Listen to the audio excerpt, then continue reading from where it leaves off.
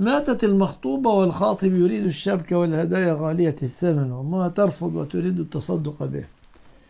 هل هي مخطوبة أو معقود عليها؟ إذا كانت بدون عقد فالشبكة من المهر وهي للزوج وهي للخاطب لأنها من المهر وما حصل عقد.